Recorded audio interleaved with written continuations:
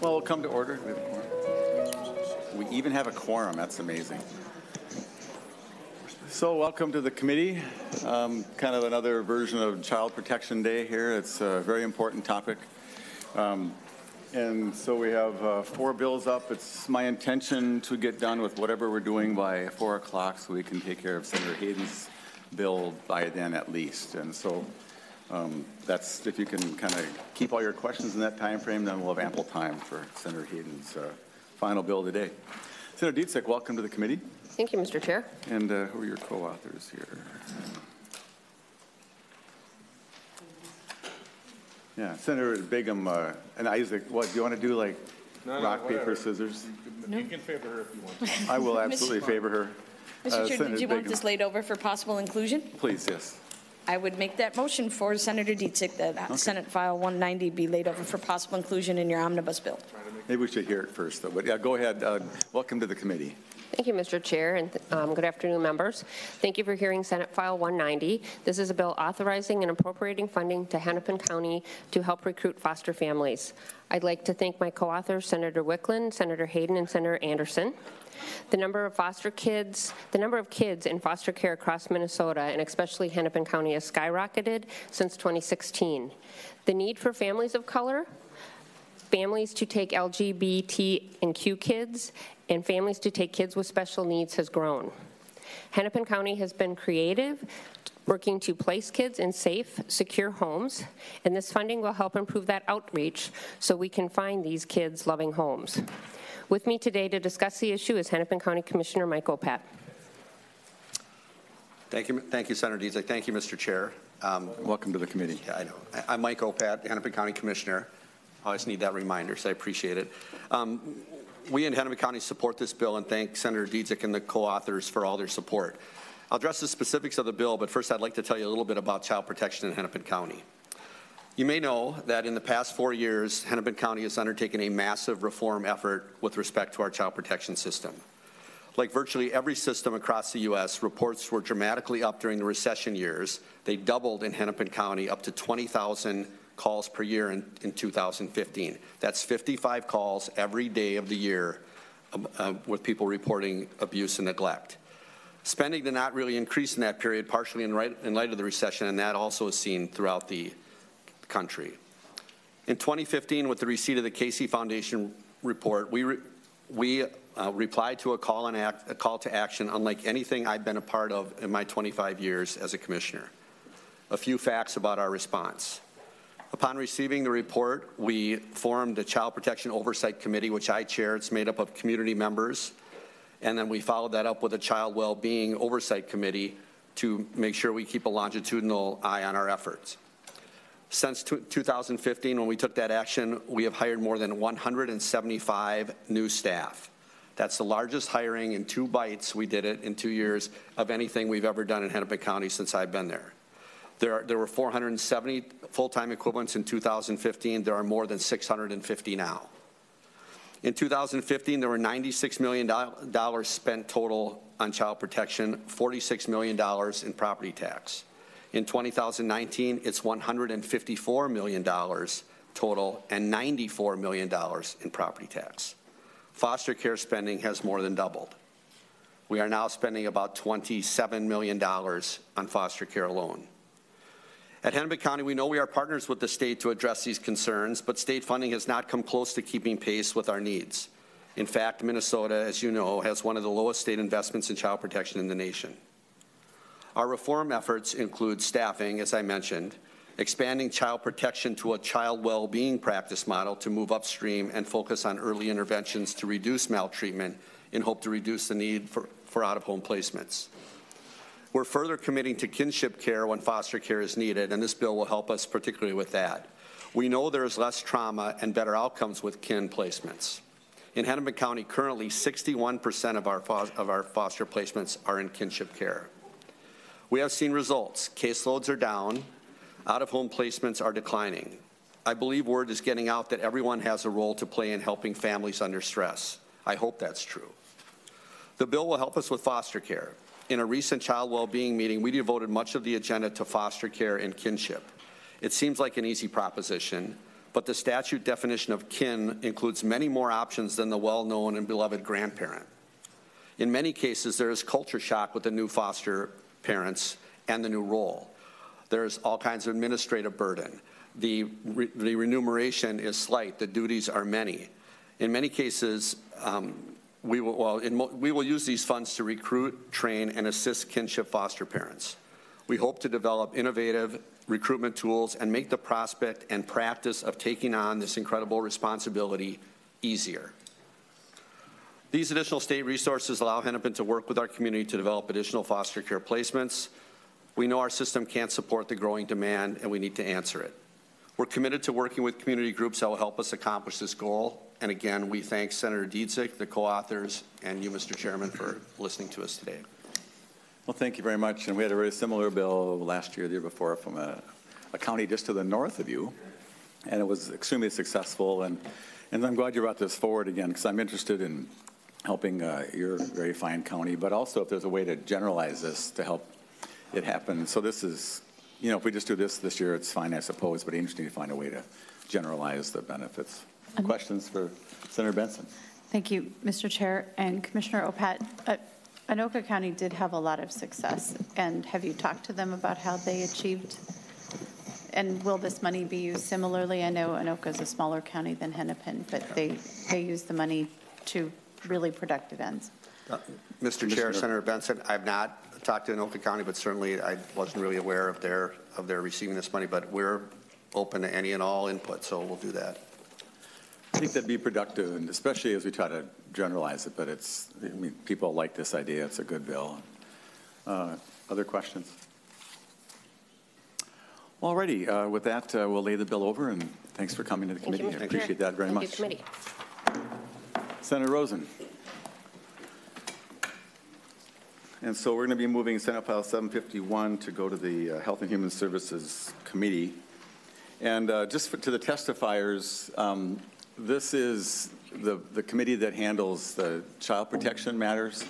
And so there's a lot of interest in the bill on all kinds of levels about how great an idea it is, or how bad an idea it is, or um, who it's you know, what is going to happen to the industries touched by this, but we're really here for the section that talks about where the money goes to be spent. And uh, so if you can focus on that, that would be helpful to me. I'm not going to deprive you of your free speech. So Senator Rosen, I notice um, that you're, they say friends, friends come and go, enemies accumulate. You've got a few uh, letters in opposition and some in support, and so um, I guess we're getting somewhere. So welcome to the committee, and uh, glad you can be here. And so, uh, so Senator Rosen moves her bill to be before us, and so here you Th- are. Thank you very much, Mr. Chair. Senate File 751 has been a, a long journey, and I, again, uh, stand very proud and honored to, to sit here with my, my friend uh, Senator Eaton on this journey. And I also have Jennifer DeCabilis from uh, Hennepin County 2 to testify. And as you said, this is about the out-of-home placement um, money that's, that's in the bill. If I could just briefly go over the bill. I had a whole bunch of stuff that I was going to show you. There are some good things in the packet, though, that I'd like to point out. This one form, that's uh, the county reporting system for 2018 of out-of-home placement report for each county. Members, you have that. Also, the, here's a list of the quantities dispensed for each of the manufacturers. That's also in your packet for your leisure reading, um, how the prescription monitoring program is going, how it works now and how it will work once we get it up and rolling with the new um, Appriss marketing tool. And then a little bit of condensed information from Hennepin County, and like I said, we will hear from um, Mr. DeCabilis. I know I'm saying your your name wrong. It's close? Okay, DeCabilis. So this bill basically addresses this public health emergency that we have before you. I was reading last night, we've already spent in the U.S. 78.5 billion per year on this crisis. Cost of health care, lost productivity, addiction treatment, and criminal justice oversight included in that.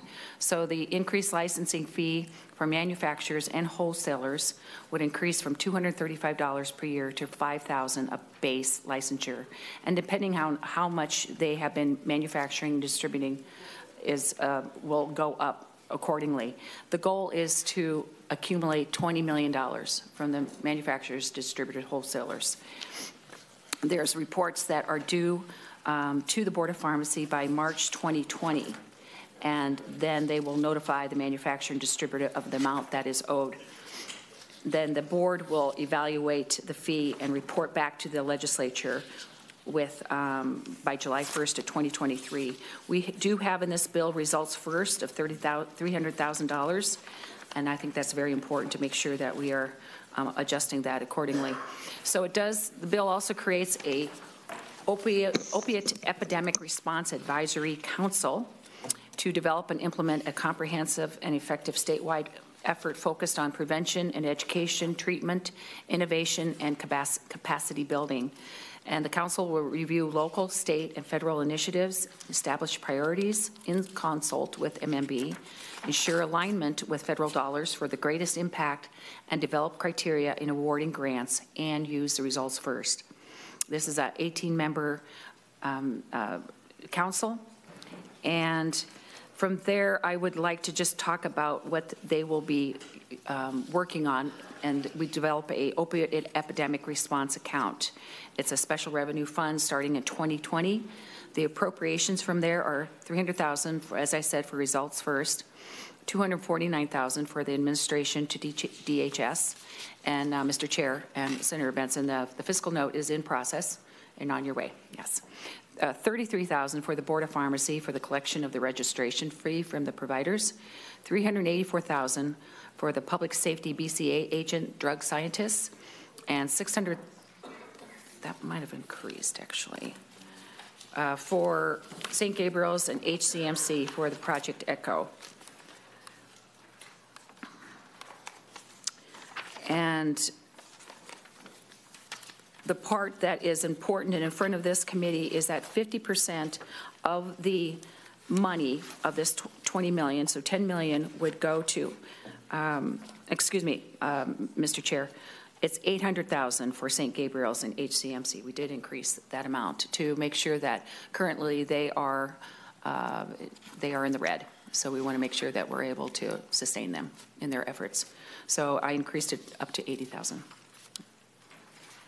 And then the 50% of, and this is on page um, 11.25, at least 50% shall be distributed to county social service agencies to provide child protection services to children and families who are affected by addiction.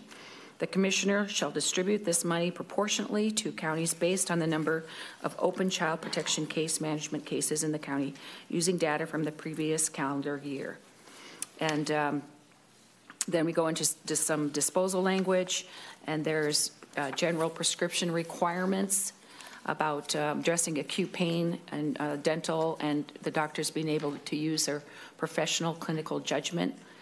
Uh, There's some information on um, accessing the data and also some, um, if, when the data is being accessed, what does, the off-ramps and for hospice care, palliative care, uh, prescriptions issued within 14 days following surgery or three days oral surgery.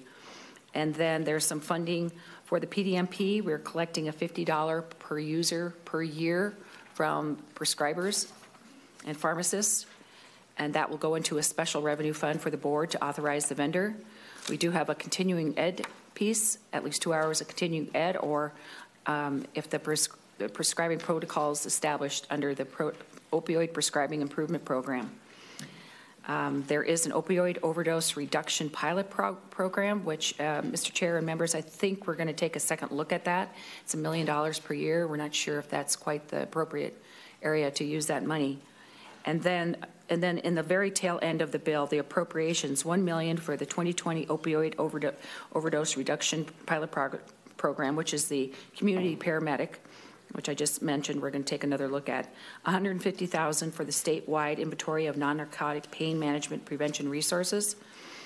And then we added um, 2 million per year ongoing from the general fund for violent crime enforcement team grants, prioritizing greater Minnesota applicants. That, this was put in, this is a, this is a priority for, for me, um, and we put this in in judiciary because we have to stop the flow that's coming in, whether it's synthetic fentanyl, heroin, methamphetamine is being um, introduced. on our, our major interstates, and they have been at a stagnant funding since 2011 at 4.3. And these um, undercover, our, our drug force teams need some, some assistance. And then 1 million general fund for echo programs to keep them from going, um, and to keep them going until we can start collecting these fees from the manufacturers. So with that, um, Mr. Chair, I don't know how you'd like to go, but I, I, I do have my testifier here. Mr. And you have an amendment to. uh, You know, Mr. Chair, I Do you want to move I- that or not? No, I'm, I'm going to wait on that. Okay, we'll hold on that. Very good. Yeah. And so um, the, the, uh, the least fleshed out component is the, um, the 50% to county social service agencies, which is on line 11.25, 11.29. But I think any discussion of where the money goes is germane to our committee. So I'll just, if, if people can stay in that parameter. And if you came to talk about something else, I apologize, but we have our jurisdiction. So anyway, uh, Commissioner, welcome to the, is that what you are now? You're the director.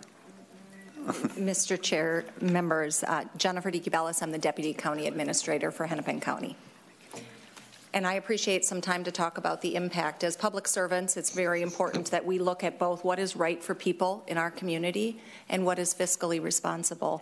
And we are alarmed by the opioid epidemic and what's happening both to people as well as the fiscal responsibility that we're charged with as public servants. So we're very grateful for Senator Rosen and Senator Eaton for their leadership in, in delivering real solutions, which is what we believe this bill does.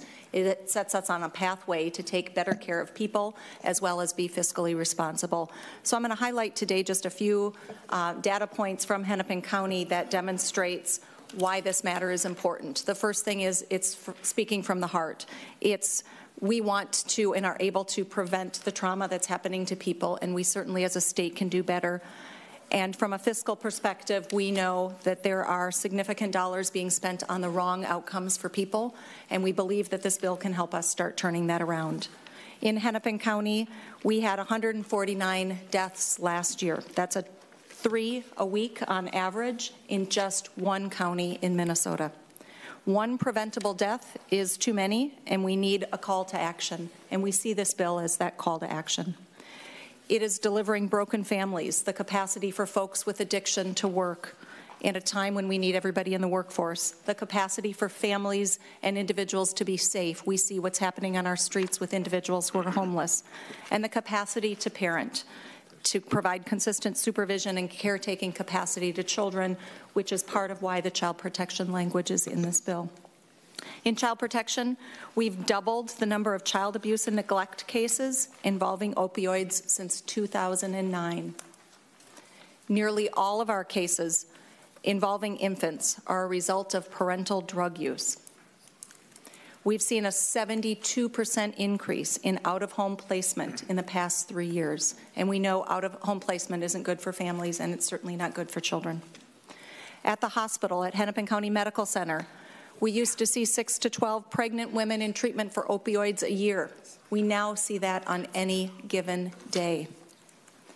In jail, snapshots of time show us that 40% of inmates in jail have active opioid use and in racial disparities. This epidemic started with white suburban young adults, but we disproportionately see the impact right now with Native Americans and African Americans, which furthers our already alarming disparities across our communities. If I say nothing else today, I want you to hear this is a crisis. The devastating impact to humans, if that's not enough, it's also a fiscal crisis. We can't sustain the demand on government and public programs which are doing the wrong things for people right now. And in Hennepin County, we're speaking to our numbers, but we're not alone. Our health plan is a very small health plan across the state of Minnesota, serving just under 30,000 members. Our health plan spends over $2 million a year for addiction treatment. Our medical examiner's office saw a 31% increase in lab costs for testing for synthetics and had to add two full-time physicians to handle autopsy demands. At over $5,100 on average for the cost of an autopsy, it's been an increase in the medical examiner's costs of over $240,000. HCMC, Hennepin Healthcare, is treating over 800 babies per year for opioid withdrawal. One day in the NICU is upwards of $2,000 per day, not to mention it's not a healthy start for these infants. Child protection in Hennepin County is costing over $150 million, which has more than doubled our costs since 2013. Out-of-home placement in Hennepin County is costing over $50 million. And as I already mentioned, it's not good for kids, it's not good for families, it's not good for our communities. My list could go on, but the crisis is here, and the time for action is now. This bill provides solutions. We need money to invest in these solutions, real solutions, not Band-Aids, so we can save lives, heal families, and keep addiction from advancing through generations. We support this bill. We request you see the urgency to act, and we stand ready to partner. Thanks, Ms. DeCabelis. And I just, uh, uh, part of my question for you specifically is the way that uh, line 1125 to 29 reads. Um, Is that, um, where it just sends 50% out based upon open child support cases, is that a, is that a good uh, metric for you, in your opinion, and a fair way to spend up to $10 million across the state? Uh, Mr. Chair, members, absolutely. Um, Every bit that helps us focus on how do we hope, help the adults that are dealing with addiction and how do we help these children get better futures going forward is absolutely instrumental in us taking the right steps forward. So it seemed like it wasn't a bad one, but you think, of all the metrics you could think of, that's just a fair one that would get it to where the concentrations are greatest, and that's, that was- that was my question, so thank you. Yes. Senator Bigham, oh, I Senator Hayden's first, sorry, I just, uh, Well, thank you, Mr. Chair, and thank you, uh, Senator Rosen and Eaton. This is a long time coming. I know we got a little ways to go yet on this bill, but I do appreciate all of the hard work that you've done. Um, I have maybe one question, and then another one just came to mind. Um, On your task force, um, and I was looking at the members of it, and I think that they're all great. I was wondering, based on the historic um, issues that the African American community has had around opioids, and then it's been confirmed by our deputy administrator here in Hennepin County. Um, and we, and I don't want to add it today. I don't like to write policy that way, but I guess what I want to say is maybe there could be a member of that community who understands uh, the issues, particular that goes on around opioids, which has been a historic issue uh, with them. Um, just as a side, I had a conversation on community radio, and they didn't realize there's an epidemic of pills and other forms of opioids, and even it's been kind of highlighted in some music, and they didn't realize that that was opioids, the community members and others that I was talking to, and that made me start to think that there's a disconnect between what we're talking about, you know, what we've highlighted around opioid and, and uh, uh, addiction relative to things like heroin and, and other things that happen in that community. So um, maybe we could talk later, but I would like to talk about if there's a spot from a cultural perspective that they might get a place here to, to help us, to help guide us. And Senator Hayden, you weren't here when I talked about the scope of our work today. Oh. And I'm actually trying to save time for your other bills. so, Okay, okay. um, And so, it's your call. Um, But so, uh, we're really talking about page 11, which is where Oh, the money is okay. going, and maybe the end of the bill too. So those, and this is going back to the Health Committee, so I think a discussion in between here and there makes a lot of sense. Well, M- Mr. Chair, with that, I don't have any more questions, right. um, and I'll just talk to Good Senator answer. Rosen and Eaton offline. And so, uh, Mr. Chair, Senator Eaton. I would just like to indicate that I have heard Senator Hayden. Okay, thanks. And so um, there's a couple of testifiers. Are there questions for Ms. DeCabelis? If there's questions for her, then we'll do those and stick around. Uh, Senator Bigham. Thank No, you. No, just don't leave. So you, you- you get to stay. Sorry. Thank Good you, effort Ms. to sneak out, but it didn't work. Thank you, Mr. Chair and Ms. Jacobellis. Um, uh, One, uh, I want to draw the committee's attention to the letter from the Association of Minnesota Counties. Um, This is uh, an unbelievable issue for the counties, not only in child protection, and your comments um, highlighted some of them, but what we don't do to offset this epidemic falls on property taxes. And um, Mr. Chair, you aptly talked about how this is focused on child protection. Of course, I think this should go to child protection. I think that's the most efficient and effective use of, of this money, and I think it goes from the day the child is born and um, is born uh, dependent on this, and that's when child protection starts in, right at that moment, and follows the child through until, um, you know, whether it's through foster family or kinship or um, on and on and on. But it also deals with our jails. It also deals, as you said, with our medical examiners. If anybody has talked to uh, the executive, executive director of the Sheriff's Association, um, they, they'll tell you um, the increase in cases that have occurred due to this epidemic. And um, again, I think this isn't, um, I appreciate the bill. Uh, I am 100% supportive of it and whatever I can do to help. And I appreciate Hennepin um, highlighting a lot of this. This is a statewide issue. And think of the, the, I saw a lot of shocked looks on people's faces when they saw, heard some of the statistics. And that's Hennepin. I mean, they call it the state of Hennepin when you're on the county, on the county level. And, uh, and that's a compliment. Um, but there's a lot of other smaller counties that, imagine, they don't have the resources and the ability and the proximity that Hennepin does to deal with this. Uh, so I would keep that in mind.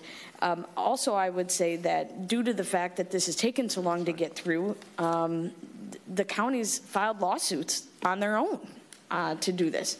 And so that's how big of a deal this is and how much of a financial burden this epidemic is on our counties and our local communities and our property taxes. So I thank so much Senator Rosen and Eaton for your leadership on this um, and helping relieve some of the uh, financial burden uh, that falls onto our property taxes because we are cleaning up a mess that we did not start and the pharmaceutical companies have a responsibility to be part of that solution. Thank you, Senator Bigham. Actually, somebody called it the sovereign state of Hennepin. But anyway, there's a, there's some other, sorry, there's, there's some other mess. This is the piles of notes we have here. There's another larger pile of supporters and some opponents as well. So uh, Senator Benson to Ms. DeCabelos. Thank you, Mr. Chair, Yeah, and thanks. to Ms. DeCabelos. And this might be a question to take to all the counties, but for every $250,000 or million dollars that we put into child protection, how much relief does it provide? How many more kids do we get taken care of? Um, So some of those metrics, so we know what we're actually impacting here and then can have some expectation that this is going to have long-term impact. And it doesn't have to be today, but I'd like to hear it Ms. before we get maybe the, what if you got a million dollars? What would you do with it? That's a good question. Mr. Chair, members, the, the million dollar, right now, without it, we're not providing that prevention, that early intervention to families and adults to get them better connected to addiction. Um, What we are is we're throwing them into the deep end of the child protection system or the court system or to our emergency departments. So it is to say, how do we intervene earlier and smarter in order to provide the supports and wrap those supports around people so that we're not getting them into the deep end system. system. And Mr. Chair, Senator, I'd be happy to work with the associations across the counties in order to get some of that specific data back to you. It- Senator Benson. Mr. Chair, a couple of things. We're doing nurse home visiting now, so are we doing a good job working with nurse home visiting to get early into addiction treatment? So I feel like maybe there's a gap there that needs to be at least talked about, and we can fix it later. But we get the, the list of all the counties that are impacted and how many cases they have open, and knowing what the $10 million does it make a dent? Does it solve half the problem? So this is, this is what I'm trying to wrap my head around with the question. So not for today, but I'd appreciate it at some point. Thank you. Okay, uh, Ms. DeCabelos, thanks. Now you can escape. And so we have four other witnesses. Um, Ms. Schulz, if you're here. And then on deck is uh, Dr. Pilkus, and then Ms. Elkington, and then Mr. Michelin, if he's a doctor or Mr. whatever. So welcome to the committee. And again, most of our focus is on page 11, so. Correct. And and so, uh, and if you've, if, if- and just the other testifiers, we're, we, there's been a lot of testimony in this bill and other committees about the merits and the challenges you face. So if you can just, we'll appreciate that, we know that, and so if you can add to the discussion, I would be grateful. Thank you. Welcome to the committee. Does that leave you anything to say? Not- Oh, thanks for coming. Welcome. Thank you very much. Uh, My name is Cara Schulz, and I am a sitting council member in Burnsville, and I was asked to present testimony on behalf of residents who've contacted me. Believe me, Burnsville is on the front line of the heroin and fentanyl crisis. So we are very, very aware of this and are struggling to deal with it, as are you. I am also a stage four cancer patient involved with several cancer support groups and would like to relay how this impacts as well. Uh, the first concern, though, is rising costs. Between this bill and its sister bill in the House, we could see a $20 million rise in the cost of Ms. Schulz. prescriptions. Ms. I'm getting right to it. Okay, Trust me. thanks. I'm, I- I'm t- dovetailing Oh, you're in. building a base. I got it. I am. So, thank you. Okay. Thank you. Uh, This is being proposed while our Attorney General Keith Ellison is creating a task force to lower prescription drug costs. So when you're looking at ways to finance this, because I do think we do have needed services to help patients, to help families, please do not do this in a way that harms patients. That's what we're asking on that. Um, If we want to talk about costs, the, and costs to the counties, costs to cities, improperly managed paying costs the United States 636 billion in direct costs every year.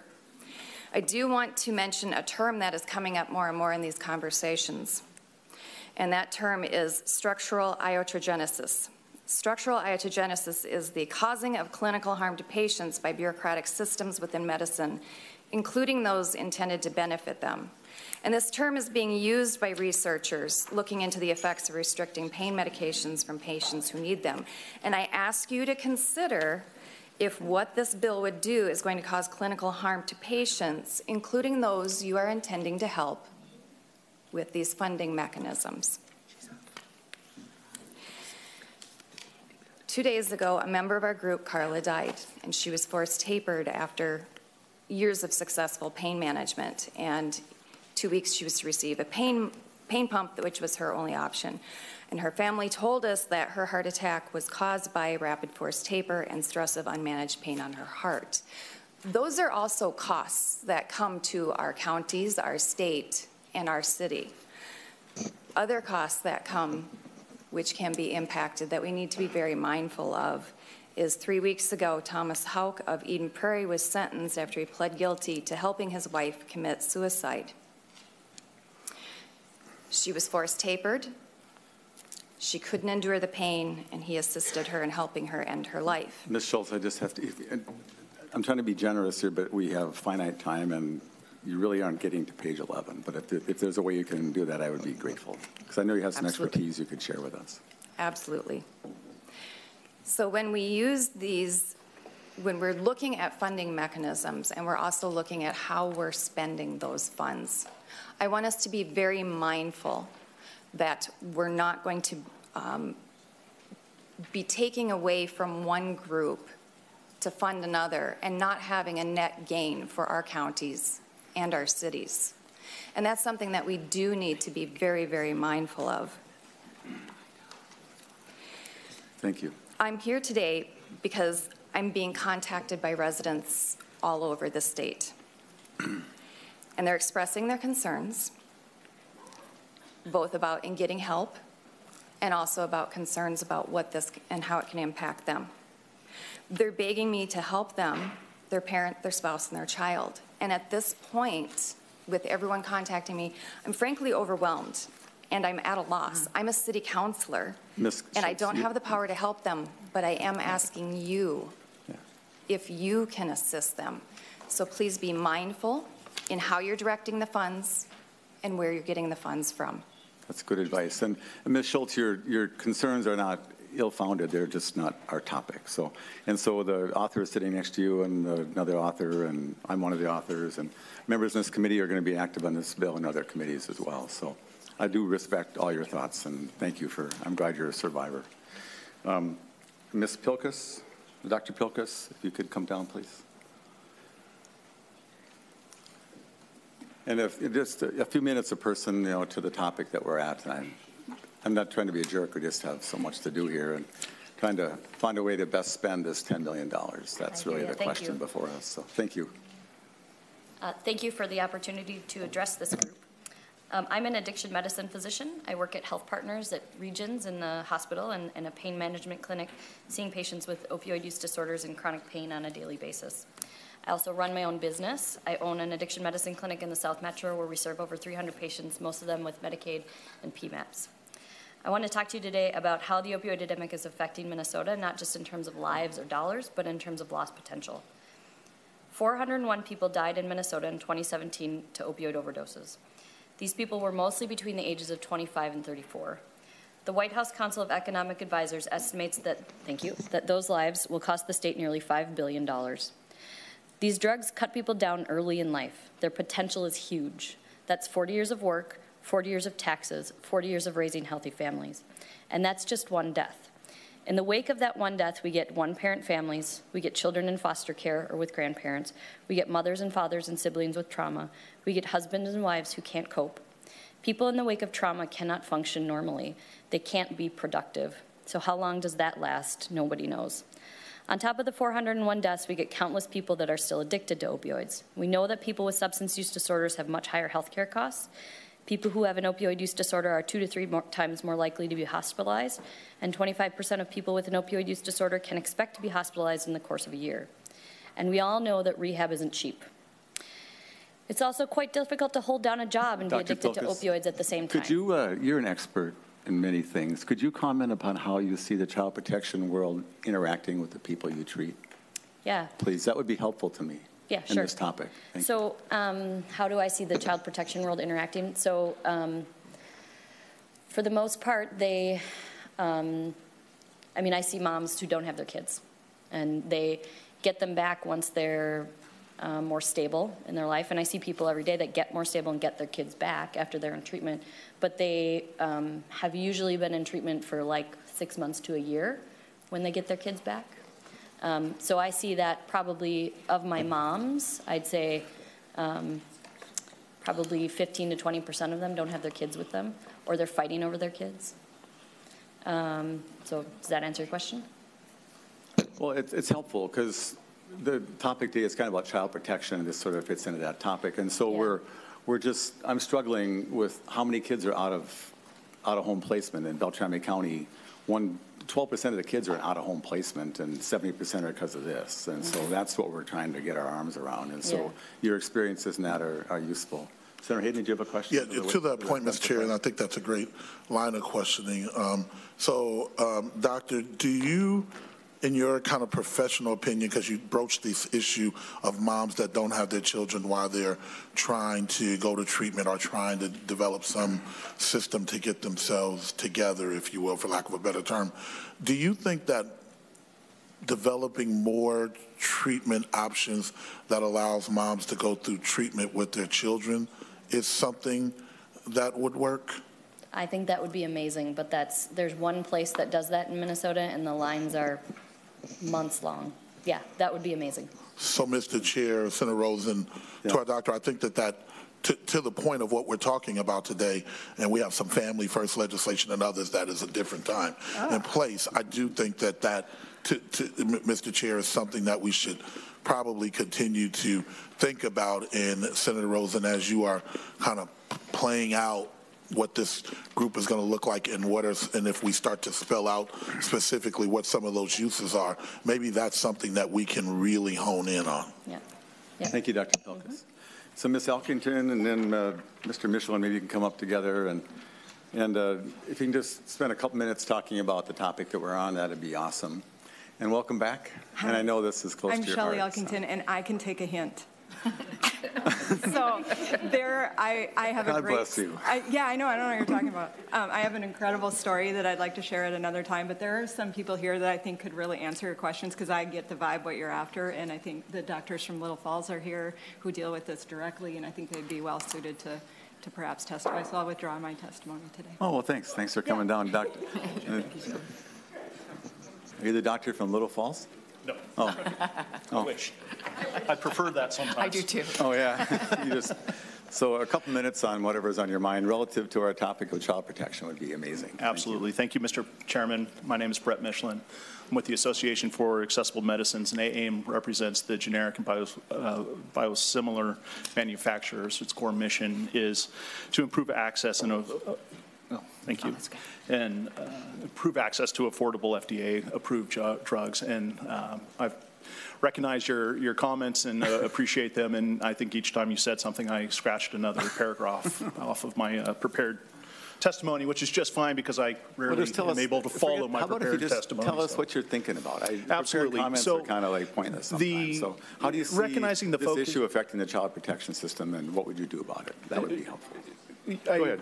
Yeah, I, I appreciate those comments. Um, and quite frankly, AAM's concerns are not, we're not here to question the priorities that Minnesota would spend this money on or um, even the need for the state of Minnesota to spend this money.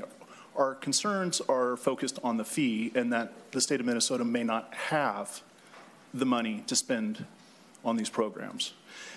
We recognize the steps that Senator Rosen has taken in earlier committees, and we appreciate those, and, and we think we're moving in a much better direction.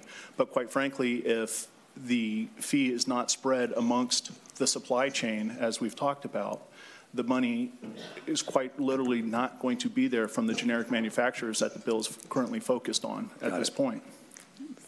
Well, I appreciate that. Thanks. Um, Did you want to talk about the interaction with the child protection system at all? But anyway, I appreciate you coming forward. No, just want to make sure that the state actually has the money to spend on the programs that it's designing. That's a very good, You kind of circled and now we're in for a landing. So thank you very Thank much. you very I much. appreciate that. Was there a doctor from Little Falls or somebody wanted to? We're, we're going to run out of time here, but go ahead. If you can take Mr. Uh, Mr. Michelin's spot there and just cast him aside and just throw him. Anyway, thank you for coming. And so this is, uh, you I get can to have take the a hint, I last uh, promise. public word here, and then we're going to have a little discussion, and then we're going to move this bill off. So like a welcome to 10-minute the office committee visit. and I can do that. I'm Dr. Heather Bell. I am a family physician in Little Falls, Minnesota. Um, Just a little quick background. So I am a doctor in Little Falls who've been prescribing Suboxone for the last three years. We've had a nationally recognized opioid program in Little Falls where we've tapered over half of our patients off of unnecessary pain medications, yada, yada. But the bottom line comes down to the money. You asked what, what I would do with a million dollars, and I'll just tell you what I did with a no, million actually, dollars. the, the question was, what would you do with a million dollars? The, the Not me personally, No, to no, help uh, yeah, nice to have a nice trip in the Bahamas. No, the question was to the, she's the director of human services Mm-hmm. at Hennepin County, and so if she had a million dollars to put into child protection work, Yep. what would she do?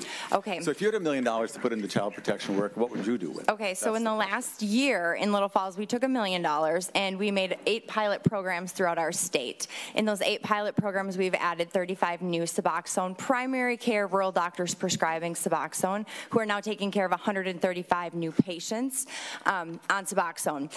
With those 135, we have 100, so that's 235 new patients. I deliver these patients, here's your child protection, I deliver these patients in our critical access hospital in Little Falls on their MAT. Um, the best thing missing from their deliveries is there is no child protection in the room. Um, one of our patients who delivered recently um, didn't present until she was 24 weeks pregnant. They were on board, and then I got to say, see you later, because this mom tested negative at delivery except for her Suboxone. The baby tested negative at delivery except for her Suboxone. So child protection never even got involved. Not only that, but we have gotten patients started on the reservation in Mille Lacs through our pilot program, and they don't do deliveries on the Mille Lacs, but they do OB care, and so those patients are now delivering in Little Falls as well, um, therefore not getting child protection involved. And so with a million dollars, we, we kind of just put our social worker and our nurse on the child protection board in Little Falls. I work back and forth because I do deliver babies. Um, and we just tend to like get them involved right away at the beginning of deliveries, get them involved at the beginning of patients entering our programs who have kids in child protection and treat them.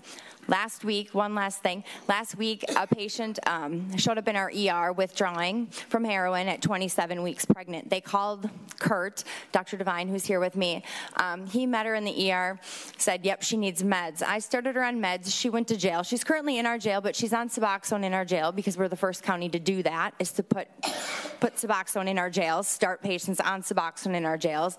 So she'll get out of jail in the next few days on her Suboxone, go back and deliver you know, a baby who's not on heroin and cocaine and all the other things that she was previously on. So our role with child protection is to try to minimize their involvement in these lives and then work with them to show them when they're in a program like ours, they're not needing all those extra services.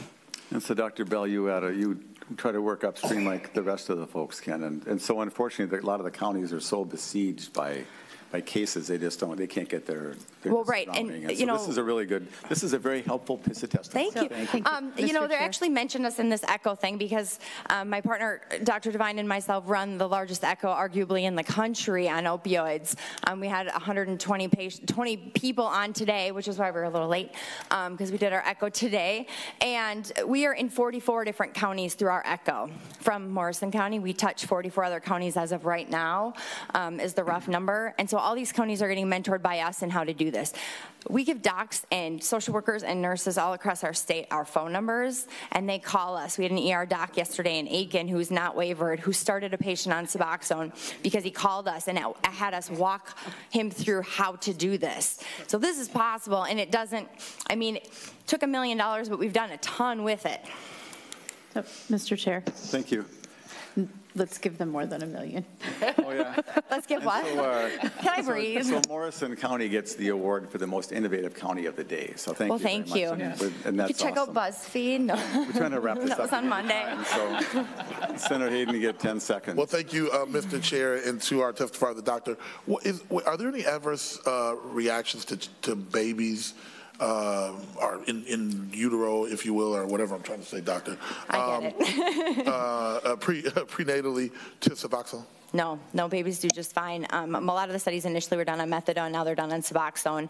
Um, we have lots of friends. Dr. Cresta Jones is an addiction doctor who does OB at the University of Minnesota.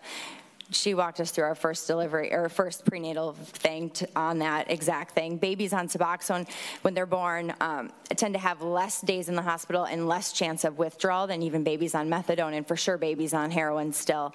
Um, the few we've delivered have not needed morphine or any type of treatment. They hang out in our hospital, we hang out with them, and they go home, again, without child protection involvement. Mr. Chair? Uh, just Really short, please. No, she's, she's from Little Falls.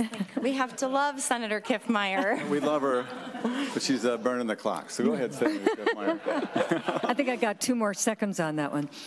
Uh, Well, Dr. Bell, Dr. Devine as well, I really appreciate that. But, you know, when you, I heard from Hennepin, this is really, really important. We've talked before, we've got to get upstream. Yeah. And when you're able to do these things, and so they don't need that, and they can do that, folks, that is crucial, absolutely crucial. And so um, I'm glad to hear you're in 44 counties, but I think this is money well spent by us, and especially the savings actually look like we're gaining savings for once in something that we're spending. So thank Well, you. that is, that's actually where we started, was Dr. in Bell. Morrison County tapering pills. And we had 100,000 pills coming out of one pharmacy a month in Little Falls, which now we're down to like 40,000. I mean, we've cut it over in half. So we go way upstream to the pills, so again, fewer people get addicted, and Thank you. know the, the story. Thank you, Dr. Bell. You know, Senator Rosen, uh, just listening, this actually has been productive testimony in the Very much. aggregate, especially, especially with the last couple of testifiers. Um, You might consider, as we just go forward on line 1126, talk about early intervention. Uh, If we put money into the, the pot of people needing services is just a big pot, but if we did something on the early intervention side, that would, that's where nobody has money for that. So anyway, with, um, with that, I think, and Senator Eaton, why don't you, do you want to offer the final closing comment, please? Thank you. I'd like to, I'd just like to say that I have had some people ask why I am supporting half of this money going to child protection. And I think it's been very well spelled out here today why. Um, I think that if we can get help to the people with addiction, that they will be able to keep their children in their homes and the children won't be neglected. This is a disease like any other disease. If somebody has cancer and can't care for their children, we don't usually haul them off into child protection. And I'm, I'm hoping that this money will decrease that occurrence. I think that, um, I think we're going to do a lot of good. And I Thank you. don't, unfortunately, this 20 million isn't even enough to cover Hennepin County for one year, but But I, and I think 10 million going into early intervention might actually turn could the make dial a big bit. difference, yes. So it's, I wish we had more time to discuss this. And to the people that came with all your many concerns and hopes and what you wish for this and what you wish for this not to be, uh, that discussion is still open. Um, So Senator Rosen uh, would renew her motion that Senate File 751 be recommended to pass and be referred to the Committee on Health and Human Services, Finance and Policy. Everybody understand that? All in favor say aye. Aye. Opposed? Um, Thank you. Thank Thank you, you very Mr. much. Chair. Thank you very that was a- much, This was a good stop, Senator Rosen. Senator Rosen, this was a good stop. This Yeah. was productive coming here. Thank you for that. So Senator Hoffman moves uh, Senate File 1796. It's the recodification. I thought he could just read it to us. Thank you, Mr. Chair and members. I, I think I want to start with uh, a, a bill for the act relating to children. No, it's real simple. It's a fix based upon the, the fact that Governor's Task Force on Protection of Children recommended changes to certain statutory definitions, as well as doing an organized revision of the Minnesota statute 626.556. What you have is the recodification in front of you, and it's no substantive changes, just aligns things up. And I believe it's like looking at your kitchen cupboards. It starts to put the beans in with the beans and the and the soups with the soups. So That's very good. And I'm told we can't move this bill today because it's only introduced today. So we're going to be uh, doing all our testimony on this and explanations, and then uh, laying it over and then acting on it Monday. Yep. Is anybody in the committee that uh, would like to talk about this, not related to child protection? Um, Anybody? Uh, So Mr. uh, Chair, Senator Benson. I just ask council to um,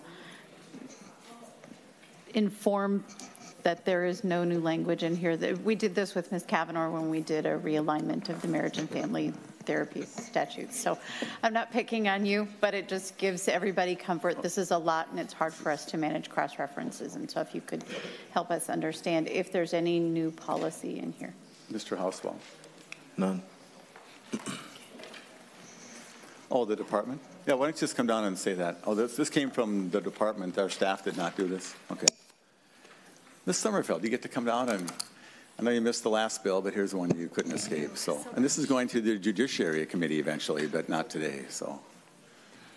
Thank you, Mr. Chair, members of the committee. I'm Jennifer Sommerfeld from the Department of Human Services. The department and um, a handful of county attorneys worked on this over the course of a couple of years with the revisor's office, and it is simply a reorganization. Um, We didn't make any substantive changes. We were very careful about working through that so that we didn't have anything in there. And went through it with a fine tooth comb probably a dozen times to make sure nothing could be substantive in people's interpretation of it. And so the things you like in there are still there, the things you don't like in there are still in there. There are things we still occasionally think should be revised in there. Would have been um, too handy, but- We did not do that in this bill. Any questions? So, Mr. Chair, Senator Hoffman. I, I don't know. I thought I explained it pretty good when I talked about the kitchen cupboards and lining up the soups with the soups and the. So. Okay. Forget it.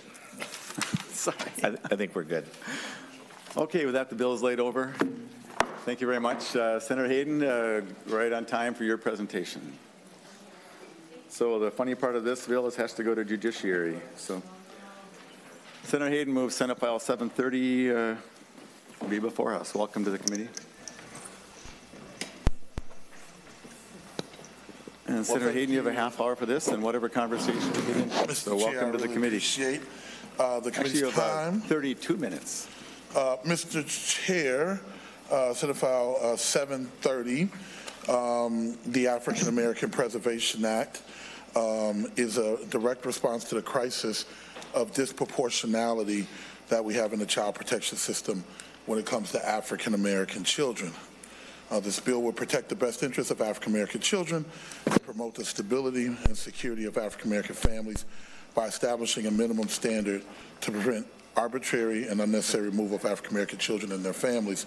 Uh, Mr. Chair, members, by the way of uh, just some statistics, uh, African American children are over three times more likely than their white counterparts to be reported to child protection.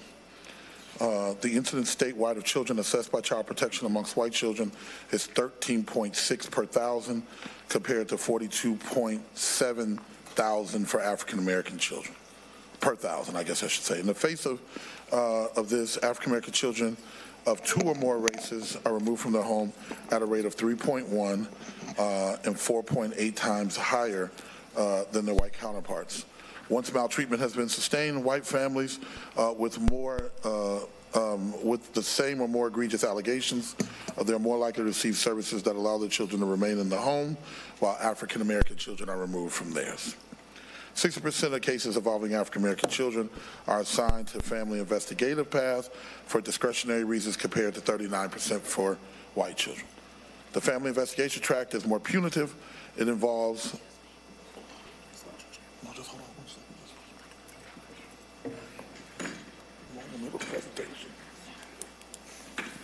um, the, the family gets based character is more punitive and involves the court and places of maltreatment finding in African American pa- parents.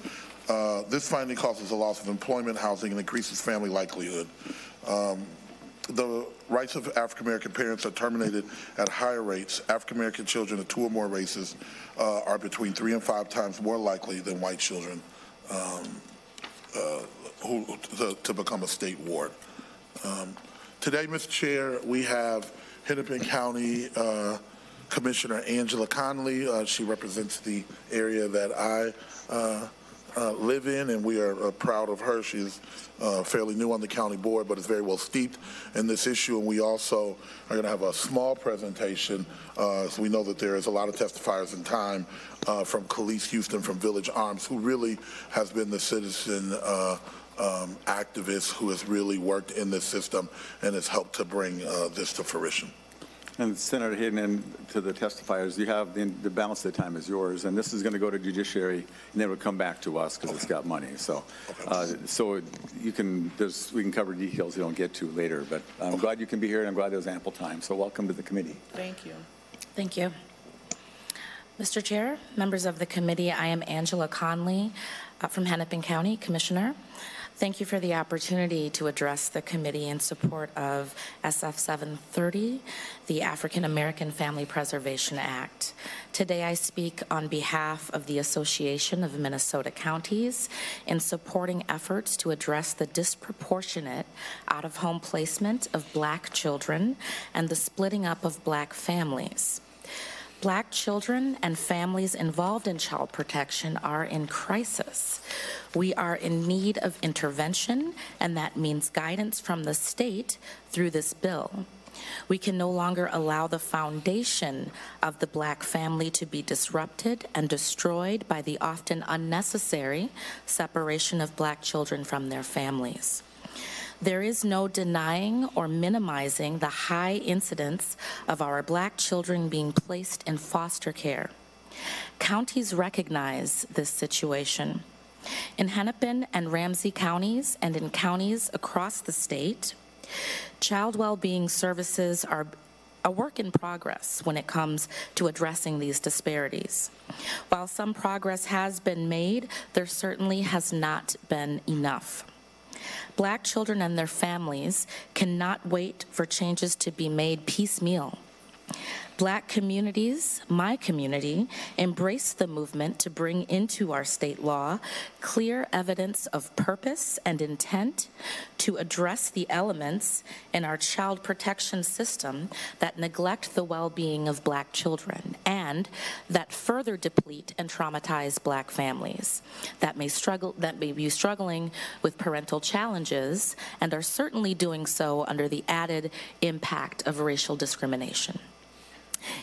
If indeed our child protection system is about supporting family, about providing child safety, about addressing barriers that prevent families from building on strengths, about engaging extended families and a child's broader community when parents are not able to adequately parent, then we need to acknowledge the shortcomings of our current system and take bold steps in supporting black families as this bill does. This bill is a strong expression of the author's commitment to systemic change. Thank you, Senator Hayden. Counties, including Hennepin and Ramsey counties, where the state's majority of black families live, share that commitment. We are working with the bill's authors to continue to find the best solutions to creating and implementing change. Counties in Minnesota work at the discretion of the state, of the Department of Human Services, to deliver and manage child well-being services. Our directors, our case managers are on the front lines, working with our families and our communities. We have a unique perspective on how systemic change can enhance our goals to better provide service to black families. Senator Hayden and members of the committee, you can count on counties to work with you as this bill is refined. We are committed to improving our system and performance because black children and families are equally valued members of our community. Thank you. Thank you very much, uh, And, and Senator Hayden. Mr. Chair, I just wanted to say that uh, Commissioner Connolly does have a, uh, an engagement that she has to leave at 4:15. So if there were questions of her, Yeah, I just wouldn't want her to leave and members had questions of her. Any questions for the commissioner? Well, thank you very much, and I appreciate coming. And so if, if you want to ditch, I would do that, so you can get out of here early. But you're welcome to stay, and I'll- you can come anytime. Thank you I'll very check the much. time. And- Thank you. And good luck in your duties. You have a very important job ahead of you. Thank you very much. I appreciate that. Senator Hayden. Okay, so I know we're pressed for time. I do want to give this issue, it's a decades-long announce yourself. issue. Your name for the record. Yep, I am, I am. This is a decades-long issue. Um, We have parents and families that have been impacted by this issue. It's very important, so I know we're tight for time, but I do want to give them respect in this issue, the respect that it deserves. My name is Kelis Houston. I'm founder of Village Arms. It's a Christ-centered nonprofit that I started to aid and assist African-American families impacted by child protection. And as we go over the information here, you'll see why I use the term impacted. I also chair the NAACP's Child Protection Committee. I started that committee, actually, it's the only one in the, the uh, country to address the issue of racial disproportionality and the uh, structural racism and discriminatory practices that exist within the system. So, um, thank you. And I'll speed through the data. I just really want to kind of highlight the inequities that exist within the system for African American families at every point of contact. This is a long-standing national issue. Um, in 2016, we were 23% of the um, um, entire child welfare population, although we only made up 14% of the total U.S. population. And unfortunately, Minnesota's child welfare data is pretty consistent with the national trend. And again, disparities exist for us at every point of contact with child protection, beginning with the reports. Every school in the Minneapolis School District over-reports black children to child protection, um, except for one. And the only difference at that school is that there's a black social worker there. And just to give an example of that disproportionality, there was one school that had a 16% African-American child population. They made 145 calls to child protection. 130 of those were on African-American children. This over-reporting leads to a greater likelihood that our cases will be screened in and that will be assigned to the investigation track. That investigation track is more punitive.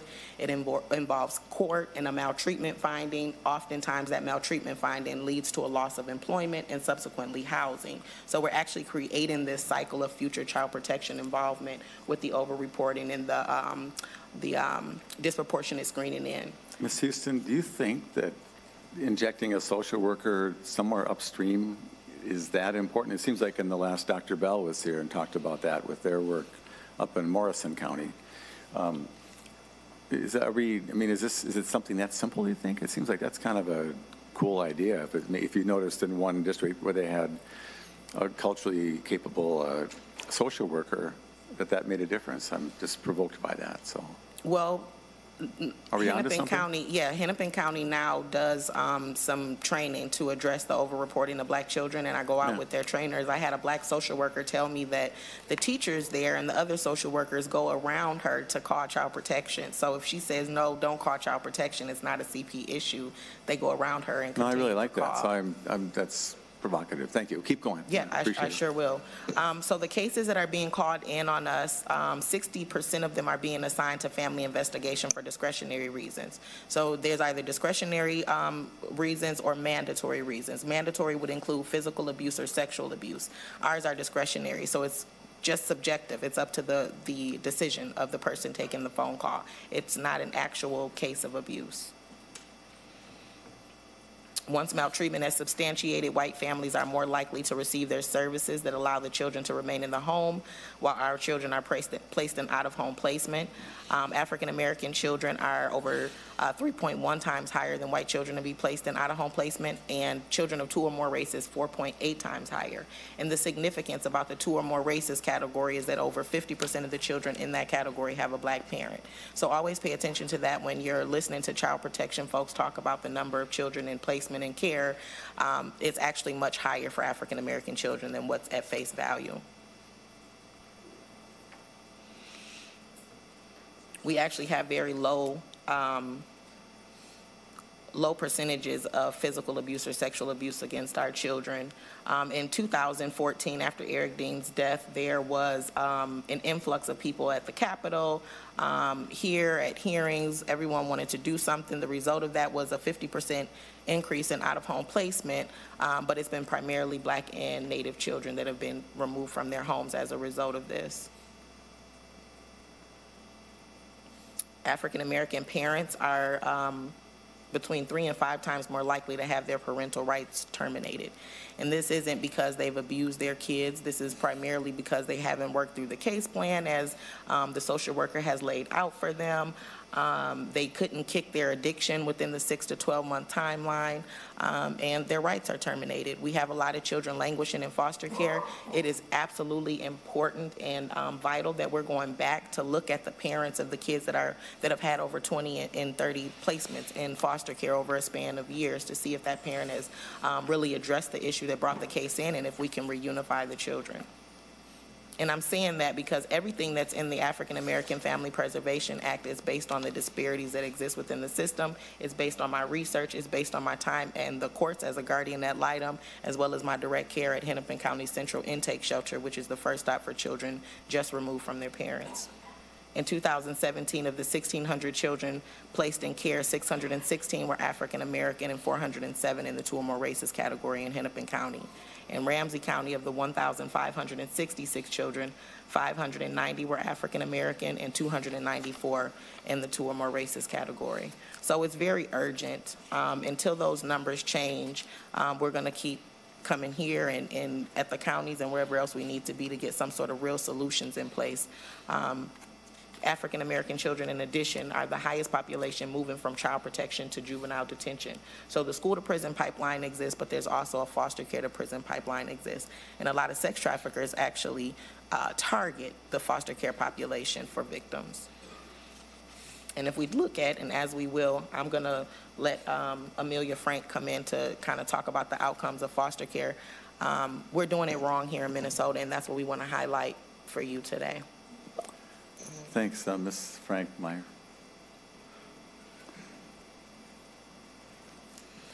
Mr. Chair, could I ask Senator a Relph, question?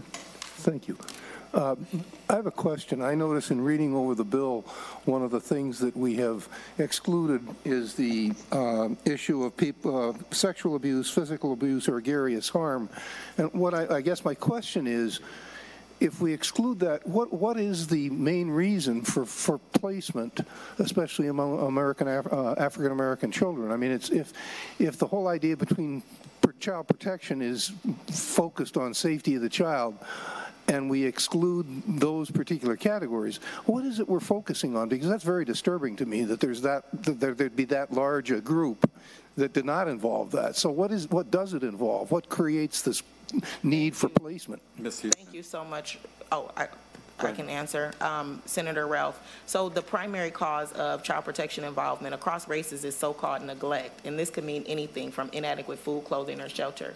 Neglect is a statute that we should really look at around kind of reframing the language there because we're placing families that have a lack of resources on the same track and in the same boat as a mother who left her infant in the car overnight or at home alone.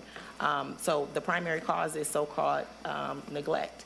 What we're really hoping to do in the conversations that we're having with the county is that we start to deter these families that are not abusing their children to community services and supports. Um, their church family and community, the faith-based um, uh, nonprofits that are out here to help, opposed to sending them down this very punitive track that we call child protection. That's really it's disturbing interesting. to me as well. Yeah. So, so maybe having somebody capable upstream who understands the culture and just even common sense um, would help neglect to be defined more properly and not just a little whisper of it. Because they need some better parenting skills, and so let's work on. I this is helpful. Or, or Senator Mr. Hayden, yeah. So, Mr. Chair, I think that you know, parenting skills can I think we know what we, we all think that that means that can be somewhat subjective. You know, I will also say that poverty um, clearly has an issue um, in this, so that it could be that a parent is unable uh, to to they don't have food at the end of the month, or they may not have the ability to wash their children's clothes or other things start to play into what someone else's norms are and what they think they should be able to do versus what they are. I'll give you a quick example. Senator Champion practices as part of law, and he says this a lot, where you had a case in which a person got a medical neglect case because the child was being intubated, or the, the physician um, called because the child was being intubated, they had severe asthma. As they backed up the case, you know, over time, what they figured out was the mother was precariously housed, often homeless, often living with relatives, living in places in which children with that level of asthma should not probably be because of mites, mice, and other things that are triggers where they probably should have been is in a stable place that had a wood floor that can be clean. And we have a lot of medical folks around here that knows that those wouldn't be the triggers, right? So our ability to spend some money up front to try to figure out how to get them in stable housing would have staved off all of the track that they went down to try to say that this was medical neglect. No, that's, yeah, I, I think we're agreeing. I just, yeah, that's helpful, though.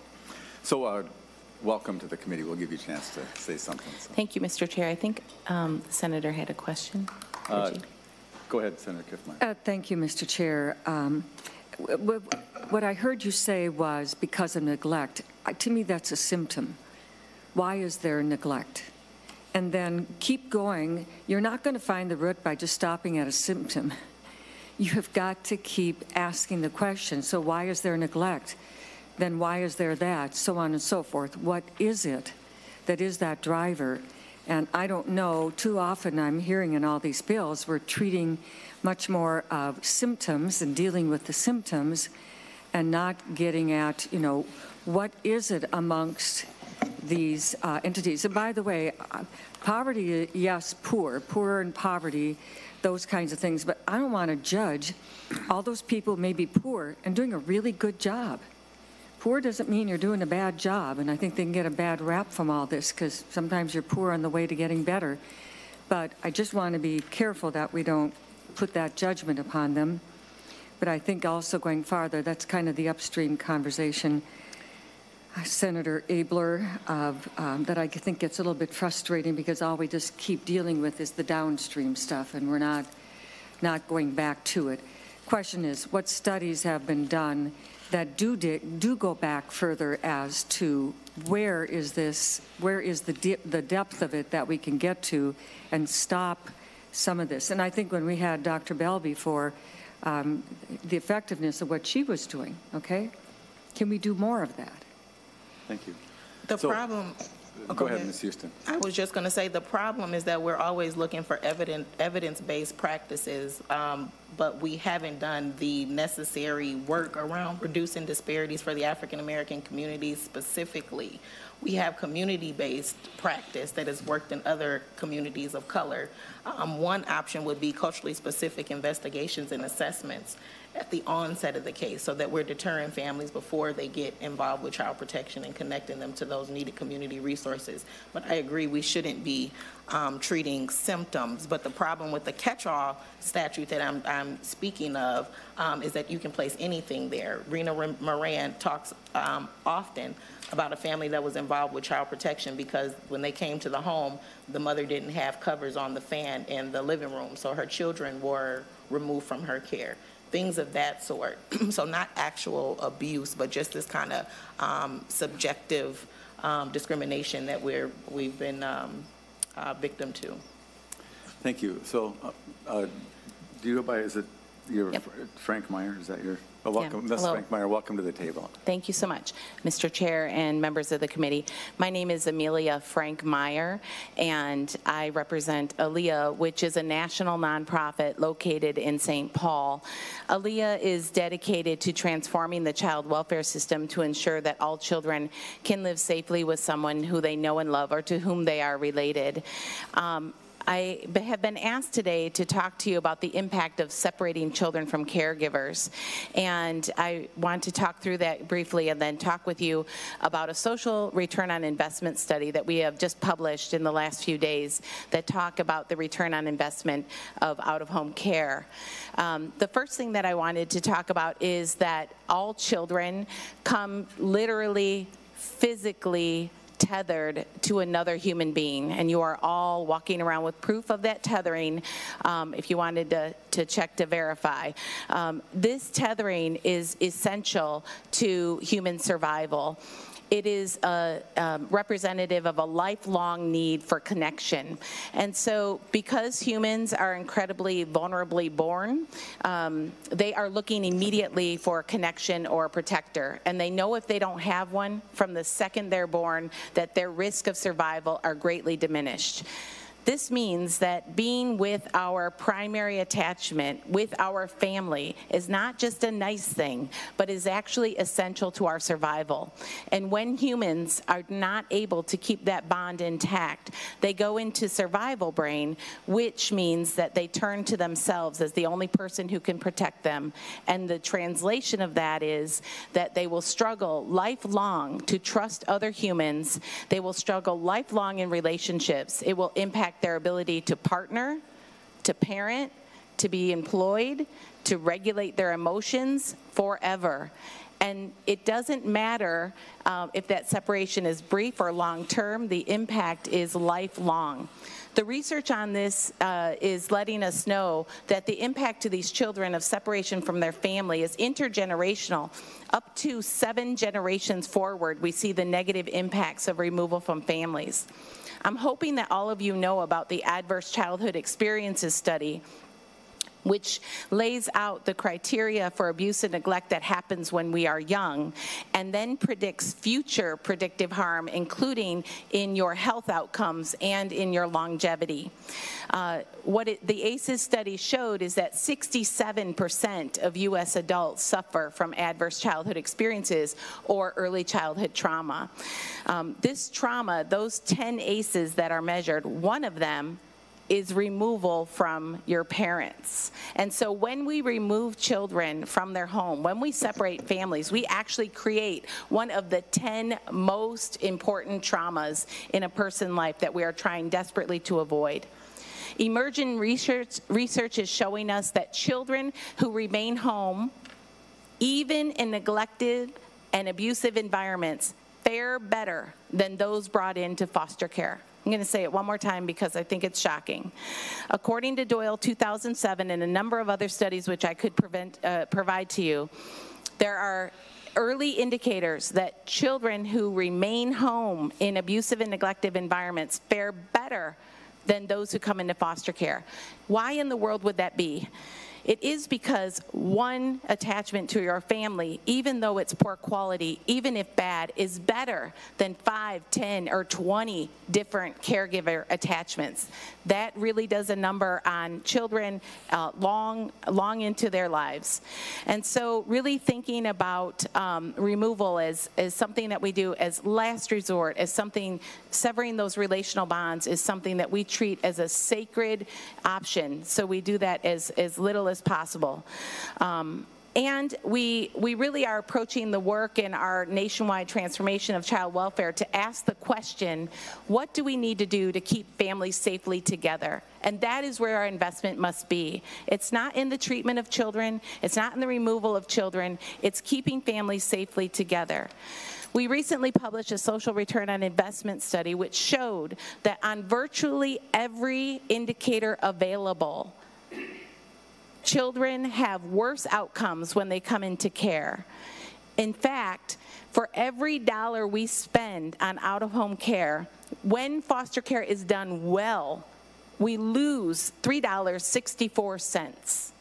If we do foster care how we typically do it in a typical scenario, the loss is $9.55 for every dollar invested. Out of home care in this country is a $29.9 billion proposition. You heard the numbers in Hennepin County alone having doubled in the last few years. We are talking 150 million. Add the multiplier of negative 9.55 to it for the societal cost, the cost to all of us, and the cost that shows up in additional helpers in uh, schools because your kids aren't getting the attention they need and they need to hire additional aides for kids who've got that trauma, who have that loss and that separation. The additional cost to your property property tax, the additional cost to um, incarceration, to our homeless population, to housing. It is all tied directly back to this childhood trauma. And what we know more than anything else is that keeping families safely together is the primary way to prevent that. And we're not really clear yet exactly how to do that safely. There are lots of pilots and lots of things we're doing, but what we know for sure is the negative impact of removal will have lifelong intergenerational consequences and requires that we do everything we can to keep families with their people, children with their families, in their communities, in their cultural context. Thank you. Thank you. Senator Hayden, you have one more, that's really interesting. You have, do you have one more testifier? Yeah, uh, well, Mr. Chair, I think we had one more, and I know some others had contacted your office, so I'm not sure. Well, you've got about, well, and so, um, it- it's 426, how long you want to stay, but, uh, so, um, this is what's going to happen. Uh, We haven't really spent much time actually talking about your bill. Uh, We've had a really enlightening discussion about disparities, which I think is extremely productive as a preamble. And so maybe uh, with respect to your testifiers, if you could just kind of have somebody go over like the highlights of the bill. And then um, this is, uh, I'm surprised that there's not more testifiers who have concerns about this bill because it's, it's, uh, it's a very, um, well, provocative, uh, aggressive bill, which I actually kind of like a lot of parts of it. And so I just want to announce to the people who are watching this, this is a legitimate effort that I like a lot of. I have not studied every detail, and some of the things need some work, I think. Um, and there'd be a lot of opinions, but uh, it's not a drill. This is a, we have two years to work on this, and so I'm interested in finding a way to address the very things you've talked about. So I just want to make sure Yeah, the advocates are like going to come talk to you and say, oh, what about this? And, all right? Well, well, thank you, Mr. Chair. Um, I will say this, I'm going to have uh, Ms. Houston kind of go through um, the bill, and I, because I really want to highlight some of the great work she's done. I will say this, we have had a lot of conversation. Um, We are talking to the counties, as you uh, have seen, all of the associations. We've had meetings with our, our largest two counties, because that's kind of where most of the African-American kids have reside, um, and we're in ongoing discussions with them. We've had um, several conversations, or at least a couple, with uh, DHS and the folks there about some of the uh, ways that they think about this. Um, so we are behind the scenes having a conversation, as well as uh, Representative Moran, the chair over there, is carrying the bill. So we're having these conversations in the community, trying to figure out what is the best way, and really addressing some of the concerns um, that people may have. I think out of the um, the, the, the grace and the, and the privilege, um, we wanted to be able to present the bill kind of as is. Of course, members can do uh, what they please and ask any questions that they want, but I do want to reassure the members of this committee uh, that this conversation, of course, with some of the substantive changes in the, in, in the statute, um, we are having conversations. Matter of fact, on Friday, I'm having a conversation with the county attorney folks and, and others. So, like, as this gets out, and I think as people see that it is potentially moving, we are open and available and having uh, those conversations with all stakeholders, including the community, which is really where this bill came from. Right. Senator Bigham has a comment. Thank you, Mr. Chair. Senator Hayden, and I appreciate that because I too share some of these uh, concerns. And so I would um, be more than happy to, to partner up with you and um, uh, when we have more time and talk with you a little bit about that and be part of any meetings that um, you feel would be um, a benefit to. As, as you know, I, I work for Child Protection, um, and so I um, want to be a resource and help uh, and partner with you on this. So um, be happy to help in any way I can. Well, well, thank you, uh, Mr. Chair. Thank you, uh, Senator. We certainly uh, are looking for all the help that we get. This is an all hands on deck uh, type of situation, but we we we um, we we have been, I think. We have spent a lot of time even to this point, and we'll continue uh, working with uh, Representative Moran um, as a kind of a team to try to right-size this and get this uh, where people feel comfortable. Thanks. And Senator Kiffmeyer. Thank you, Mr. Chair. Uh, Senator Hayden, uh, when I take a look at what's up above us there, that is a really great statement, a really good statement. I, I think there are so many good things there. However, as I read through the language of the bill, I have a lot of concerns. And so I would want to stay focused on that goal, and, um, but I, I have a lot of concerns, and I just thought, considering what's been said here and some of the things you're doing, I just needed to, to let folks know that I, while I laud the goal, I have real concerns about some of the language of this bill, or quite a bit. Senator. Benson. Um, Mr. Chair, the path, this will go to judiciary, and then what other stops do we think? Uh, that- Back to here. Back Well- to here. Well, Ms. Chair, I'm almost sure, not that I'm trying to make this Senator bill Hayden. longer, but, uh, Ms. Chair, I think that it- it's got to stop over in uh, Senator Kiffmeyer's. There's a console that's in there as well, so I, so, uh, you know, I know that we have that journey judiciary, um, Senator Kiffmeyer's committee, uh, then ultimately back to you, uh, uh, Mr. Chair. So I know that it, it has a bit of a journey. And, All right. Mr. Chair, Senator Senator Benson. Hayden, we are creating a Child and Wellbeing Department in Human Services that might hit the general operations. So I just, I want to be clear, there's a lot of work to do. I share some of Senator Kiffmeyer's concerns. So if we move it out of here today, I think there's going to be a lot of eyes. Uh, There's one provision where we say, "The court shall order local service, social service agency to immediately and appropriately, uh, to provide appropriate and meaningful in-home family services." That in and of itself is going to make judiciary crazy, and if they leave it, it's going to be really expensive. So I'm just trying to, trying to be realistic for the people who are listening who don't necessarily engage in all the minutia of legislative policy. There's a lot of things to be vetted out. The goals, as Senator Kiffmeyer said, are laudable. Anyway, so um, let me express, so what, what we've accomplished today, and this is, and we discussed, what's, what's this committee? Is it policy? Is it finance? What is it? And so I think the very nature of this committee, Senator Hayden, actually favors you today.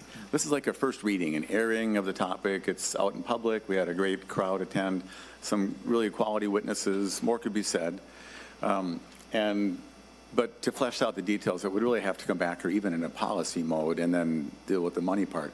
But we're going to send you off to judiciary, which is going to be the harder buzz saw anyway, uh, and they'll they'll answer some of the questions that we would have brought up. But I think the decision that we have to ask today: Are we happy with the system we have relative to African Americans, and how are we happy with how it's working? Do we want to bring forward an idea to make a change?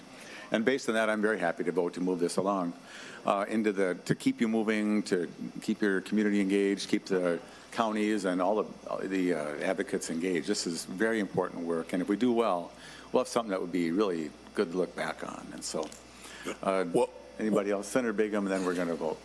Thank you, Mr. Chair. Um, Just for clarification, because I'm new, er, um, so the, the primary jurisdiction of this bill, I guess, uh, or the crux of it would be in judiciary, which is why we're moving it out to judiciary versus, say, keep, Well, so if this were, if this were only the policy committee, we're a policy and finance committee, and so we have quite a bit of flexibility. If this were the policy committee, we'd say, well, we're going to go and break and come back and spend three hours tonight and amend this and have more testimony and maybe be here till midnight working on this thing. got it. And so, I mean, that's what you would do if that was, the, if that was our only shot at it. We could not send it off without it being prepared. So we have had the oversight, the, the, the, like the preamble part, and beginning to scrutinize the content. And so it's going to go to judiciary, and they'll have a, some work on it there. Eventually, it's going to come back here for both the policy discussion and a financial discussion. Can we afford to pay for whatever it is? And Senator Hayden, as you uh, bring it through the process. It'd be nice to know what parts cost money and what are simply policy. And that's my, so going forward. So Well, thank you. Well, thank you, Mr. Chair. I think that that's uh, important work. You know, there's this kind of a series of bills that we had a reu- reunification that the champion had. Later, we'll hopefully have this uh, issue around foster care and licensing. So it's kind of a series of bills that really affect this community that we hope would work together. And in addition to that, there is a lot of ongoing conversations about what the stakeholders, holistic stakeholders, community, DHS and the counties that implement this, as well as the judiciary uh, or the or the judicial branch, which which kind of orders these uh, issues. We're having conversations with all of those stakeholders. So I think by the time we get back, you know. Uh, God bless that we get through uh, judiciary, and as we go to uh, Senator Kiffmeyer's to make sure that our uh, task force and others are in order, I think you'll see something that then when we start to to, to really delve into what this committee does, which, you know, of course, you're the chair and I'm the lead at, so I'm re- really uh, think it's important that I think we'll have a product uh, that, what hopefully can, we can get over the finish line. And Senator Hayden, has this been heard in the House yet? Uh, It was heard yesterday in an informational way. They wanted to get a lot of the testimony. They spent a couple hours or more yesterday talk with the testimony. Uh, It is my understanding Representative Moran wants to bring uh, the bill back and then start to move it forward. Yeah, that's good. And so, um, but I'm trying to give you legs, is what I'm trying Yes, to do. sir. And Thank you. so- I appreciate So uh, this, it- it it burdens me, so I'm hoping we can get something done. So, um, any other questions? Okay, with that, Senator Hayden uh, removes his, renews his motion that Senate File 730 be recommended to pass, but make sure it comes back here, um, and be sent to the Judiciary Committee. Uh, Everybody understand that? All in favor, say aye. Aye. Opposed? Thank you, Mr. Chairman. Very Chairman. nice hearing. Thank you to the Thank you. testifiers, and God bless you all. And with that, uh, we're adjourned. Thank you.